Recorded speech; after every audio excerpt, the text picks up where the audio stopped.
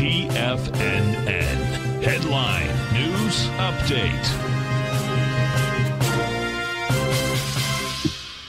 Good afternoon, folks. This is Steve Rhodes coming to you live from the shores of very sunny Delray Beach, Florida. This is your 2 p.m. update. Currently, we have a mixed bag out here. That mixed bag includes the Dow being down by 51, while the S&P is up five, and the Nasdaq 100 up 32, and the Russell up 18. That's the big mover to the upside today, eight, up eight tenths of a percent.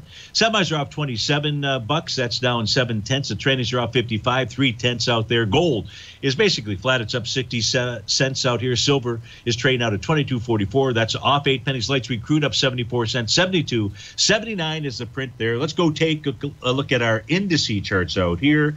Give me a moment. The first chart that's going to pop up on the screen will be the full screen is the New York Stock Exchange. Whoops.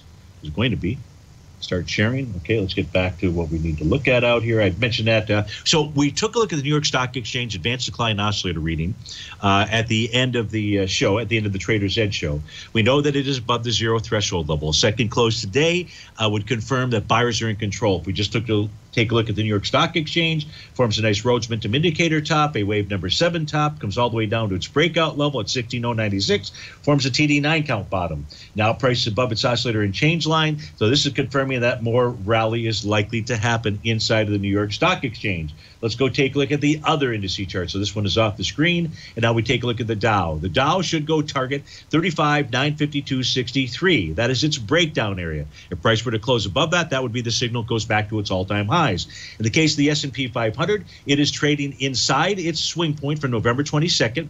We looked at the SPY during that last segment, and we know that the SPY closed inside that swing point with volume about a 15 to 17 percent uh, higher volume than the swing point. That suggests that price will go tag at least the top, maybe take out that all-time high. That's the message from the S&P. The NDX 100 today pulling back, testing and rejecting that green oscillator and change line. That suggests that it wants to move higher. It has a Gartley buy pattern. The Russell 2000, a nice move out here. 2254, is that right? No, it's 2272. So I don't know. Are all these right?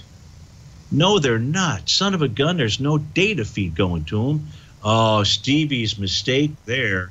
And I'm going to go ahead and get that going here. It should populate here momentarily. Sorry about that. Uh, come on, populate. I know we're going to go off the air here.